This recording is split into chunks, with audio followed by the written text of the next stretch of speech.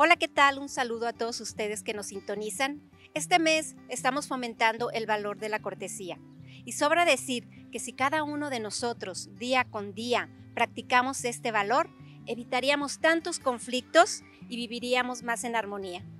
Hoy está con nosotros la psicóloga Juanis García con el tema de crisis existencial, el sentirse emocionalmente vacíos. Les dejo con ella. ¿Qué tal? Buen día. Un gusto para mí compartir con ustedes este tema tan importante que es la crisis existencial. Bueno, pues ¿qué es una crisis existencial? Eh, es cuando perdemos el sentido a nuestra vida. El, sentir que no estamos abonando nada, que no estamos, que nuestra vida no tiene sentido. Parece algo muy drástico, muy ajeno, pero bueno, curiosamente eh, todos los días eh, en consulta yo me topo con personas que les preguntas para qué vives, cuál es tu objetivo de vida, cuál es tu misión, a dónde quieres llegar. Y la respuesta muchas veces no se encuentra. Eh, las personas nos, preguntan eso y, y entramos precisamente en crisis de decir, ah, caray, nunca me lo había preguntado. Nunca me había preguntado cuál es el motivo de mi existencia, el motivo de para qué los que somos los que creemos en Dios, bueno, pues para qué Dios me mandó a este mundo, qué es, qué es lo que yo puedo aportar, qué es lo que yo puedo abonar.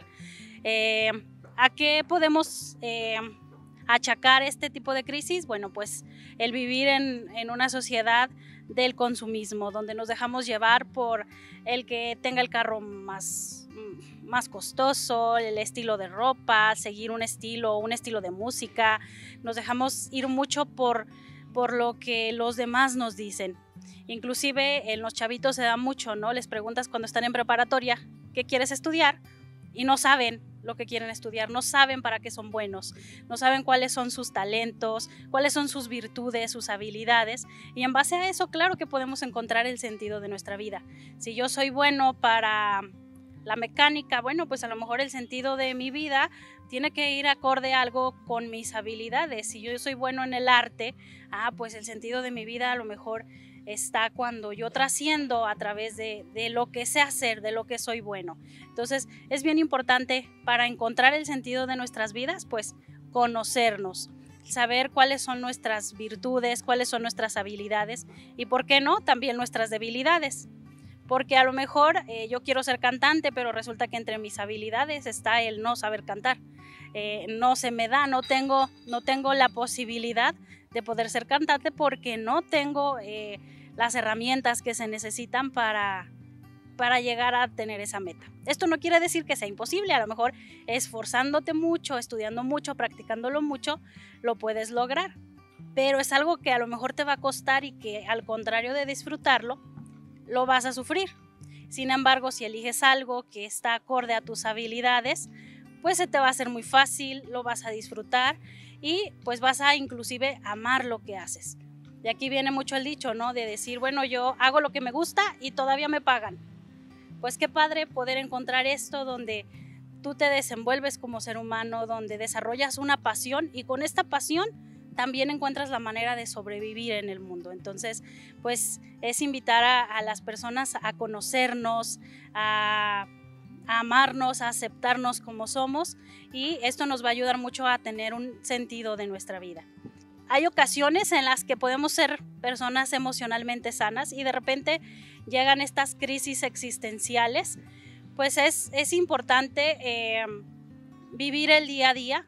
Cuando, cuando nos encontremos con este tipo de crisis, eh, podemos decir voy a vivir el hoy, plantearme objetivos, plantearme metas para salir de este tipo de crisis, es eh, ver qué quiero lograr, cómo me veo de aquí a dos años, cómo me veo en cinco años, cómo me veo en diez años. Esto nos va a ayudar a poder tener un sentido de nuestra vida, el, visualizarnos más adelante, pero disfrutando el hoy, viviendo el presente. Si yo quiero ser doctora de aquí a diez años, bueno, ¿qué estoy haciendo hoy para lograrlo? Lo que estoy haciendo encamina a mis metas o se va retirado o, se aleja de lo que quiero. Muchas veces también por esta razón se dan las crisis. ¿Por qué? Porque queremos, eh, no sé, yo quiero llegar a ser rico, pero lo que estoy haciendo hoy me está llevando totalmente a lo contrario, a, ser cada vez más pobre, a, a endeudarme cada día más. Entonces, hay que pensar bien el día de hoy, qué estoy haciendo para, para lograr lo que quiero mañana.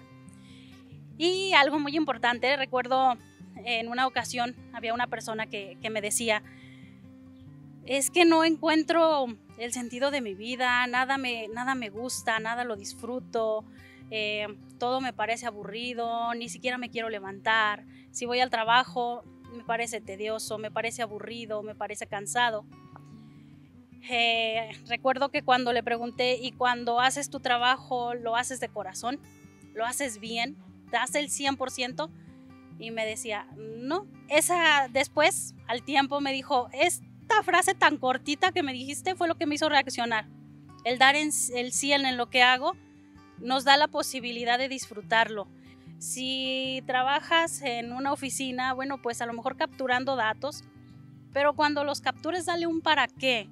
Esto que yo estoy capturando, ¿a quién le va a servir? ¿Para qué va a servir? Todo lo que hacemos tiene un para qué y, si nosotros encontramos ese para qué y lo hacemos con esa motivación, vamos a disfrutar lo que estamos haciendo, lo vamos a hacer con un sentido, con un objetivo y no por hacerlo. Agradezco a Juanis por su colaboración, me despido y que Dios les bendiga.